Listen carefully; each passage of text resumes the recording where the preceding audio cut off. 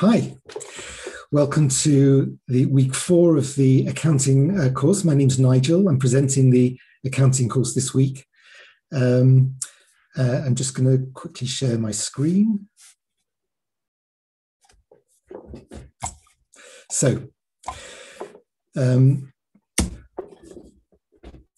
last week we covered errors. Um, errors are the bane of accountancy. So we dealt very briefly with uh, what errors are and what their impact is. Um, we talked about a couple of the most basic uh, accounting controls to pick up errors. We also talked about a few other controls about how you prevent errors in the first place. So it was a bit of an introduction, but it was quite useful. So if you haven't already seen that, it's definitely worth going back and having a look. But this week, we're going to be covering double entry bookkeeping and accounting. Um, uh, this is a um, technique that really has been around for three, four hundred years. And I'd say every accounting system in the world is based on double entry. So I thought it'd be quite useful to understand, to ch- chat about what it is and, and to see it in practice. Um, and then double entry feeds through to something called a trial balance, which again is a really basic component of all accounting systems. Uh, and then we're going to talk about journals, which are methods of moving figures from one account to another. And we'll talk in particular about debits and credits because some people love them, some hate them. And hopefully by the end of this session, it'll feel very simple to you and you'll feel very comfortable with them all. So we're going to start with, um, uh, just going to get the spreadsheet uh, up. Okay. So um, assuming you can see the spreadsheet, um, this week is going to be almost entirely a practical session because a lot of the things we're talking about are much easier to understand if you see them in practice. So, what we see at the uh, what we see here is a list of various balances um, of this entity as at the 1st of February 19, uh, 2021. Uh, I don't know if you remember when we very first started talking about accounting, we said there were two types of transactions. One was movement during a period, and the other is balances at a particular point in time. So in this particular example, we've simply got a, an entity which has got a bank current account of 100, 1,000 pounds, and uh, it's got share capital of 1,000 pounds. And I'll explain what the pluses and minuses are in just a minute. But the idea of double entry is that for every single transaction you carry out in your accounts, and I mean literally every single transaction, there's always two sides to the entry. One is what you have taken the money from, and the other side is what you've done with that money.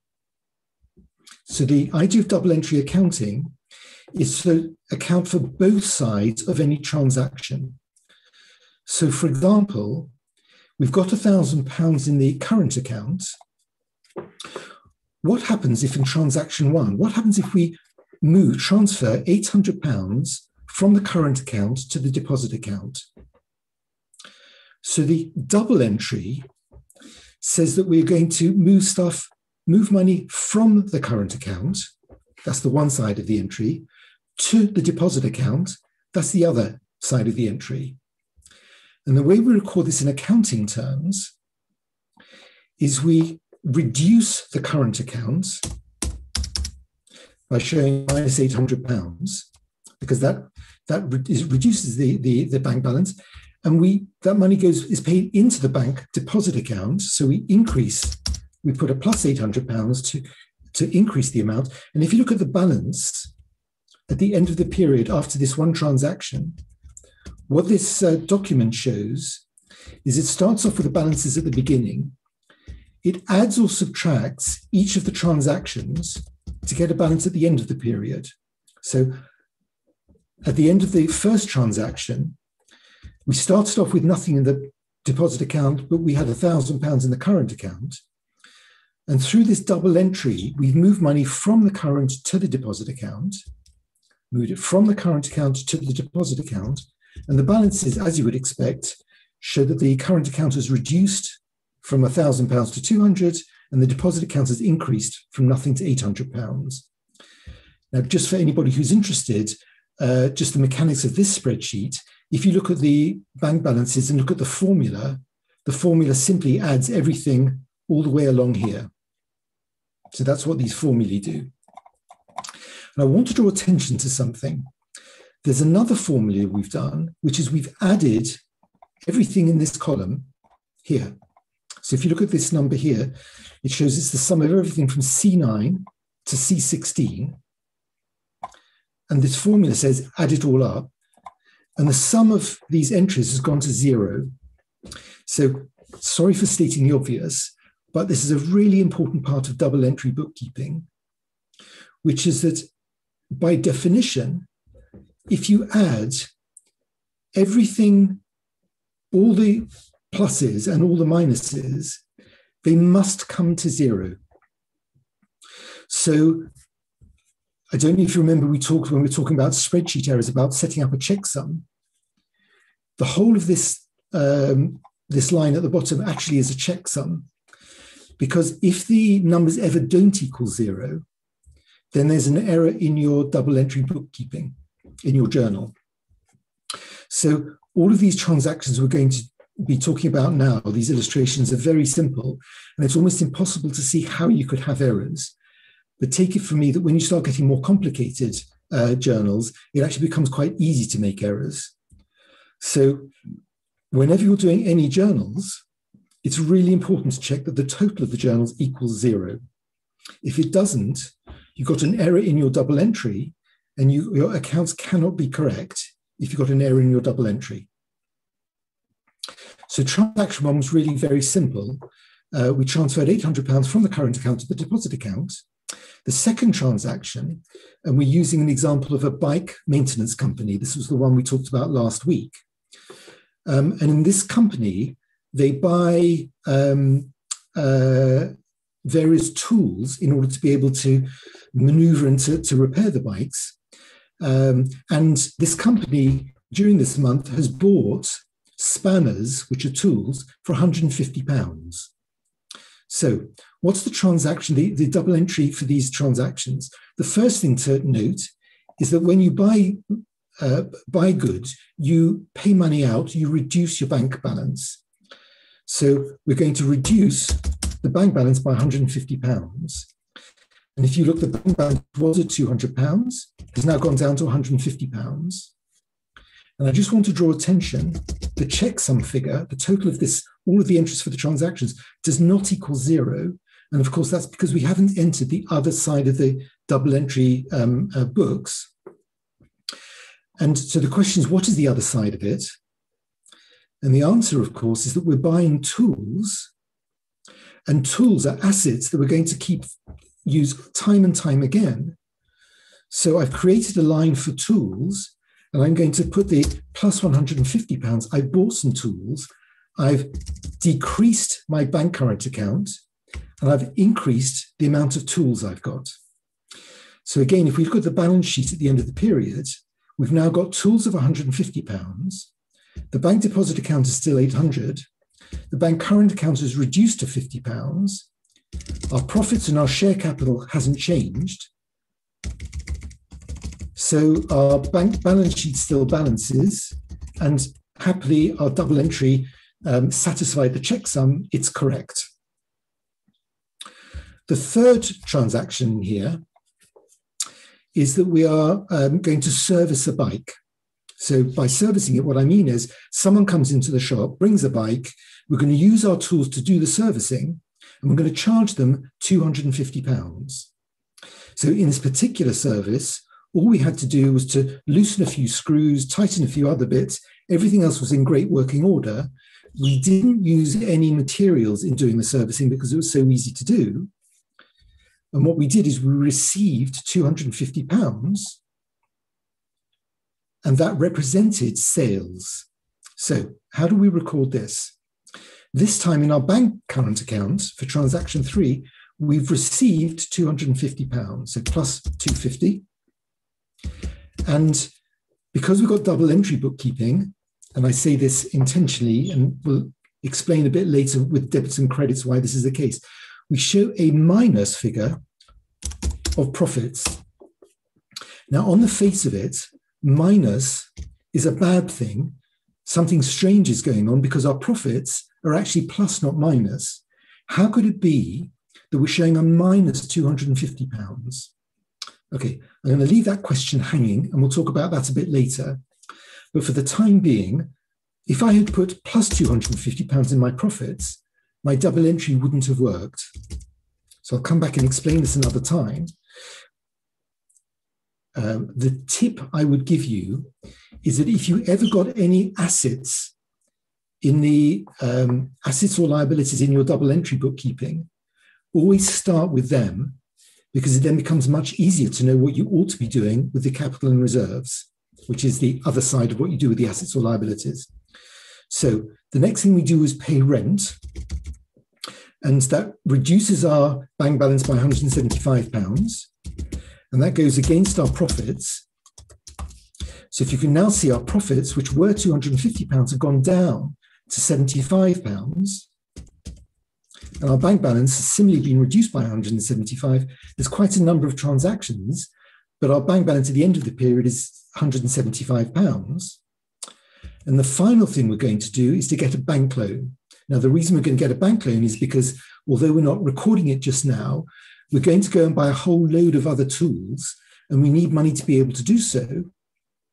And in order to do that, I want money in my current account so I can buy stuff. So I'm going to create a liability to the bank of £200. So I'm going to show that as a minus £2,000. And again, I'm going to state a liability is the opposite of an asset.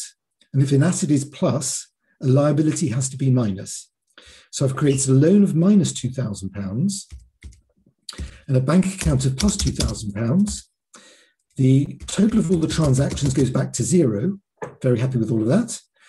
And at the end of the period, I've got tools of £150, bank deposit of £800, current account of just over £2,000, which is lovely because I can go and do all sorts of stuff with that money, which I need to do. I owe the bank £2,000. At some stage, I'm going to have to repay them. But for the time being, this is what I need to finance my business. And against that, I've got £75 of profits, which for a strange set of reasons, the minus of profits in a balance sheet means you've got you've you've made profits as opposed to losses. And I've got share capital of a thousand pounds, and happily, my balance sheet goes back to zero. So my double entry is all correct. So this was an illustration of what double entry is all about. That for every movement in any asset, you record that one side of the entry, and wherever that asset goes to, you make that in the other side. So that's the double double entry. And I'm now going to repeat that process. I just want to uh, make it a bit more familiar, a bit, bit more comfortable, using the analyzed cash book that we were, we've dealt with in the previous months. Just a couple of points to highlight. We've got an audit trail here. The reference is the audit trail back to some original documentation. So if I needed to see what overseas travel is, I can easily find the document. This is my audit trail, the reference. And with a mortgage re- repayment, that £225 was partly interest and partly a bank repayment. I've got a document to show how I arrived at those two figures. That's my audit trail, so that I can go back and check if I wanted to at a later date whether it was correct or not. Just repeating what we've discussed in the past. Again, the entry, the bank entries, we've then analysed.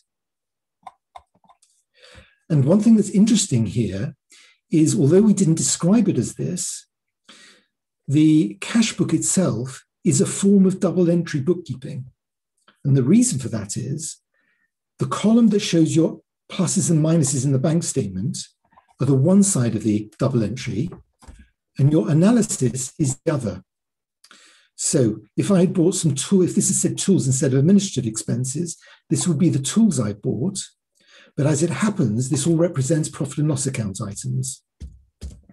So if you can see, we've sold to overseas travel £1,121. That was the plus. The double entry is minus 1121, or our total sales for the month were £2,441. So I'm now going to, I want to record this in my, uh, in a summary of what my assets and liabilities are at the end of the period. And I'm going to call this something called, a, call this a trial balance. So we've actually already looked at a trial balance. Uh, what I showed you was a slightly simple illustration to show double entry, but the trial balance lists all your assets and liabilities, all your profit and loss accounts, all your capital, and it shows the balance at the start of the period, all the movements during the period to get your balances at the end of the period. So, because we've already um, seen how the analyzed cash book works, I'm now going to record these figures in the uh, trial balance. So I'm going to record sales movements come straight from this figure here. The materials figure comes straight from this figure here.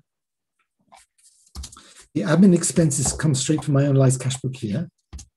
The interest comes straight from my cash book here. And my bank repayment loan comes from the analyzed cash book here. And look something interesting. The minus a thousand pounds that we owned as the bank loan has been correctly analysed because we've repaid it as being plus 500 pounds. My loans come down to 950 pounds. But look, I haven't yet done my double entry because my the, the, the checksum, the, the total of the journal is incorrect, does not tally. And that's because I haven't yet recorded the bank entry, the bank total, the other side of the double entry, which is this figure here. So let me record that now. And the sum, the figures now add up correctly.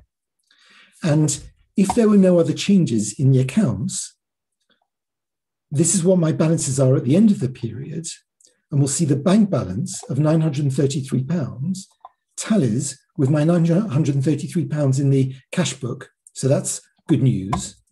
And what this uh, trial balance shows is simply a representation of the totals of the figures that we used beforehand, but in a way where I can get more sophisticated because not only have I created a profit and loss account, if you remember beforehand, we transferred these figures straight to our profit and loss account. But I'm now also showing movements in my balance sheet in other assets. So in this case, the bank loan changed. So I got a movement in the bank account, something happened in here. The other side was the bank loan.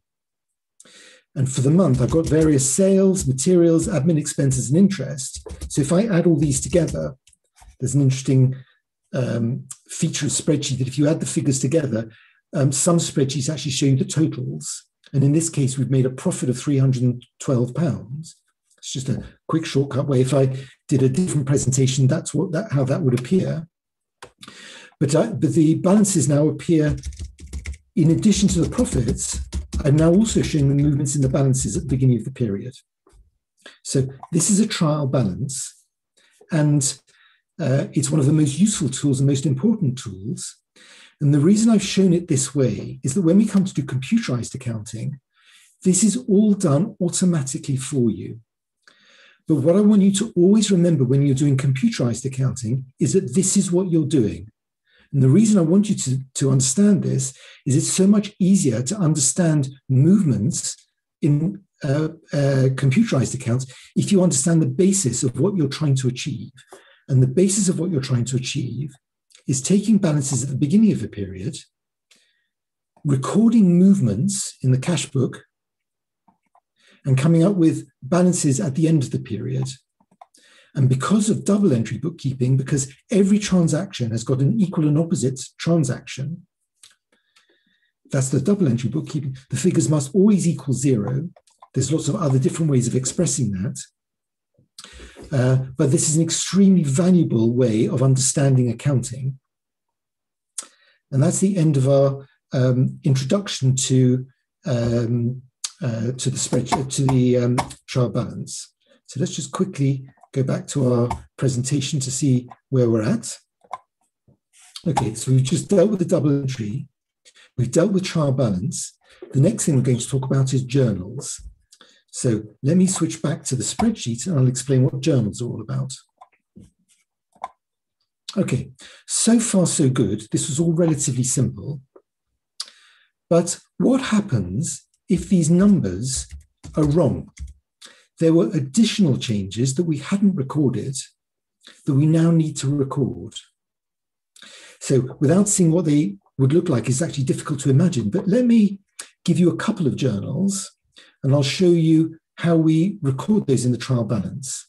So, um, I've created a couple of journals, and the first journal is that we had bought some tools quite a long time ago. One of the tools we bought was some chains, or I, will actually say that's stock rather than tools, but we'll talk about the distinction between stock and tools a bit later on. Um, but we bought some bike chains, and during this particular service, we actually had to put a new chain on. So even though we didn't pay for it during the period, in order to get our sales, we had to pay £100. We had to use up £100 of our stock or tools in order to get the sales. So, whereas our sales were £2,400 and we didn't buy materials in the month because we already had it in stock, we actually used up £100 of stock. So, the first transaction is how do we reflect that in the accounts? And the uh, simplified way of showing it is that we reduced the tools or stock by £100 and we spent money on materials of £100. So I'm now going to reflect these in the trial balance. So in the trial balance, I'm going to bring that for, that uh, um, uh, entry in the journal for the tools um, into my trial balance. And again, because I've only recorded one of the two sides of the transactions, you'll see that the sum, the, the total figure is incorrect. And I now need to add that to my materials, which is the other side of this journal. So the totals come back to zero. And this mechanism by which I've transferred some money that were in tools into my materials to reduce my profits, the mechanism in accounting terms is called a journal. And you'll notice up here, I've got a reference to which the journal is. This is part of the audit trail. You don't need to put it in audit trail. I'm just highlighting that that's what this is so that I can understand why this entry is what it is. Go back to the journal itself. And in the journal, I've got a reference number. And this reference takes me back to an individual transaction, which would explain why I did what I did.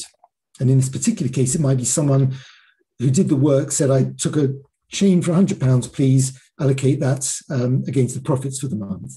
So it might be a chit, and you might write the reference number and file that chit somewhere, and that's your audit trail back to understand why it is that you did this individual transaction. The second tra- journal uh, transaction for the month is that our bank started getting very antsy with us. They said we have to repay back money to them but we didn't have enough money in the bank for everything else we needed to pay back the bank loan. So the business owner said, okay, I'm going to pay money back into the business for you. And this, tra- this, this business transaction shows that the bank loan, remember the bank loan normally is negative, we owe money to the bank, is going to be paid off. So that becomes a positive figure. And instead, we owe money to the owner. That's what this transaction says. So let's show this in the trial balance in journal two. In this case, the bank loan is paid off. So we've reduced our loan by £500. But the reason we've done that, the double entry, is that we instead we owe money to the owner. And we're now recording this. We've recorded both sides of the entry. So the total becomes zero. And our balances, which automatically add every, all of the, the total, of the balances brought forward, plus all the movements in the month, automatically accommodate this. And we've now got these balances at the end of the month. We now have a different profit figure. I don't know if you remember the figure was 300 and something pounds. Because we've reduced the profits by 100 pounds, it's come down to 200 pounds. Our bank loan has reduced, which is lovely, but instead we owe more money to our business owner, the business capital. And we owe 1,600 pounds. Again, our total of all of our assets down to zero. And our journal is the mechanism by which we put these transactions through. So the total of everything you do in a trial balance is you start off with assets at the beginning of a period. In this case, we're, we're accounting for a single month's worth of transactions. We record everything at the beginning of February. Our movements in the month are the cash book plus the two journals. And our balance at the end of the period is uh, the, the addition of all of these figures. And what this format does for you is to allow you to create an audit trail of all of the, the, the movement, the, the, how you've arrived at the uh, balances at the end of the period, how you can trace back to the accounts, the balances at the beginning of the period, plus the movements during the period, going back to the audit trails, back to the individual documents if you want to do so. And that's what a trial balance does. And um, next week we'll show how easily this trial balance then gets transferred to the formal statement of profit and loss accounts and balance sheet. And we've now created another tool in our armory of creating accounts, which is the uh, double entry bookkeeping, our trial balance, and journals, uh, and how we get from our journals to the balances. And there's only one other thing I want to talk to you about uh, in this session here, and that's something called debits and credits. And this is simply a language that accountants use. And if we're doing bookkeeping, we need to understand that language, which is slightly more sophisticated than simply saying plus or minus. But debits and credits don't do anything other than talk about plus and minus. And I'm now going to go back to the cash book. This is the cash book that we've recorded. And beforehand, we've talked about pluses and minuses. Uh, we simply showed uh, the plus, and we started off with the balance um, when we started off with our analyzed cash book, we started off with the balance at the beginning of the period, simply showed the pluses and minuses to get the balance at the end of the period. In accounting language, we show it slightly differently. We have a column all to itself for balance. So we can say for each transaction what the running balance is at the end of each transaction. And rather than show a plus or a minus, we show something called a debit or a credit. Now, I'm afraid this is entirely arbitrary, so I can only tell you that this is what we do. I can't give you any rhyme or reason. Unfortunately, you have to remember it, but I have a little bit of a tip as to how you remember it. But the pluses are debits and the minuses are credits. So commit that to memory. I'm going to give you one little bit of a tip of how you remember that what debits and credits are and how you remember which is the pluses and which is the minuses. So the only tip I can give you to remember, help you remember the debits, is that most people know if they have a debtor, it's money owed to them. So a debtor is the what we call the uh, somebody who has money which is in debit. It's a debtor. So a debtor is a plus because somebody owes us money. That's the only way I can recommend you remember it.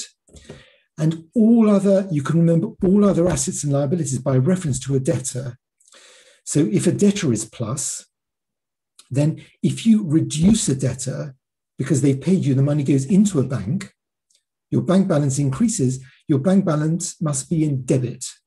If it increases, you debit it, you increase it, you debit it to increase it, and you credit it to reduce it. So with a debtor, they owe us £100.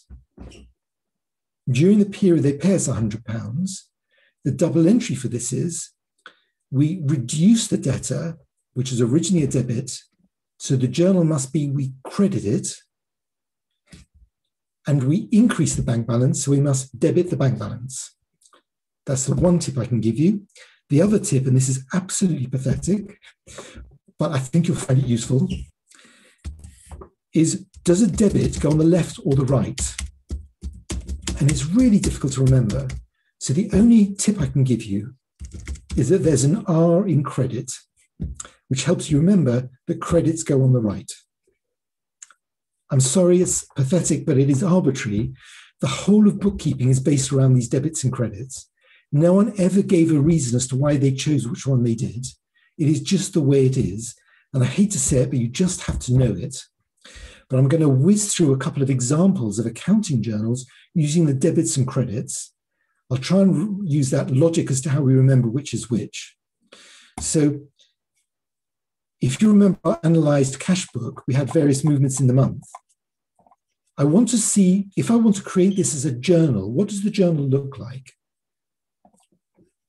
And the answer is, and just if you'll take from me, these figures all come straight from the analyzed cash book that we just showed. We increased our bank balance by 262 pounds. So just to confirm it, we started off with 670 pounds. We increased the bank balance. The bank balance is the same as a debtor. It's an asset. It's a good thing. It's a positive thing for the business. So our asset, we increased our bank balance by 262 pounds, is a debit. And it goes on the left because the credit is the one that has, with the R in the credit, is the one that goes on the right. So it simply goes in the left side.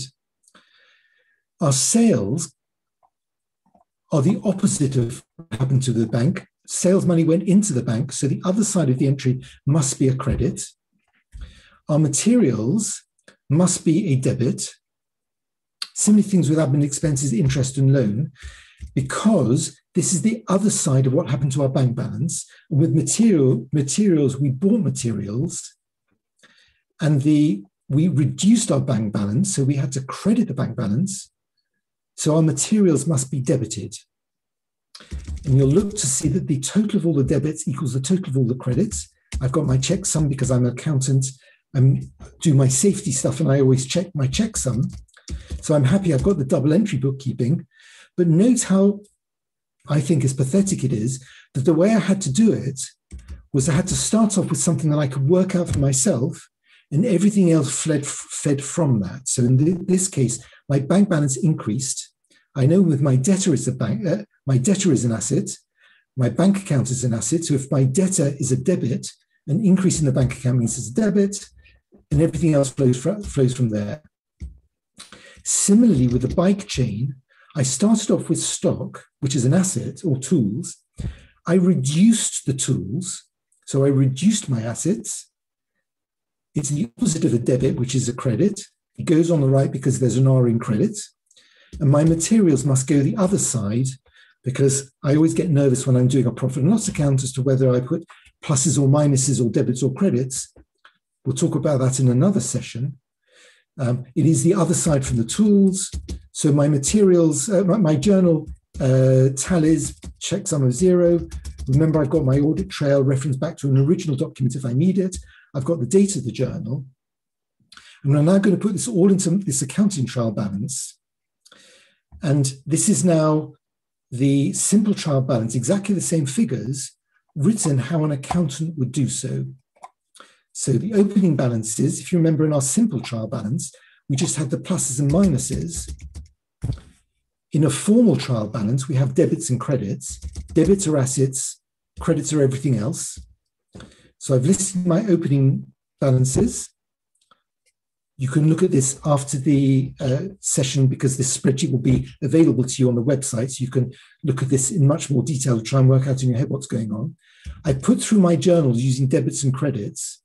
So my accounting journal of the cash book had debit to the uh, debit of the bank balance. So there's a debit here, and all the rest of the debits and credits as instructed by the journal.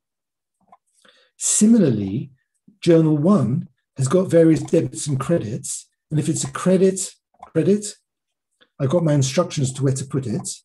Did the same thing with the other journal of my debits and credits, and the closing balances are simply the addition of all the pluses and minuses in uh, referred to as debits or credits. So you can see I've done my checksum because you start getting very complicated with this and you can very easily make errors with the pluses and the minuses.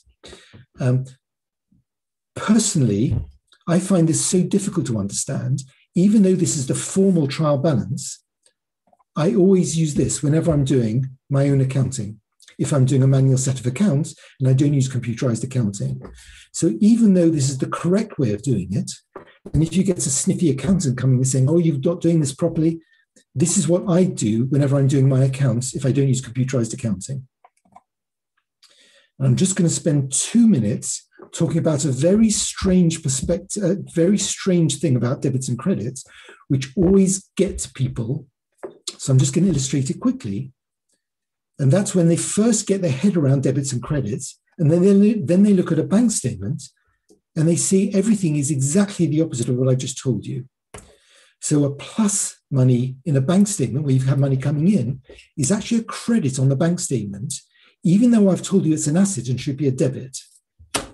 How could that be? Does that mean everything I've just told you is wrong? I'm now going to show you why both are correct. And the answer is you need to look at the statement from the bank's perspective and from our perspective. So when we started our bank uh, at the beginning of the month, in this particular case, we had a thousand pounds in the bank, and that's because we made profits of a thousand pounds the month before. So I've got retained profits of thousand pounds, assets and liabilities are nothing. The bank's figures show huge amounts of assets and huge amounts of liabilities, it's got £1,501 as its assets. Look, it's got a liability of us of £1,000. What's going on? Well, this is what's going on. We have put money into the bank. We've tra- physically transferred money, our sales, into the bank. We've paid it into the bank. So we've increased our bank balance. And the bank increased their bank balance by a thousand pounds because we paid our money into it. But they owe us the thousand pounds. If we ever say to a bank, I want some cash, a cash of a thousand pounds, they have to pay it to us. But I'm going to show you the journal during the month of what happened in our in, during the month. During the month, we got paid 120 pounds because we sold some some a service to somebody.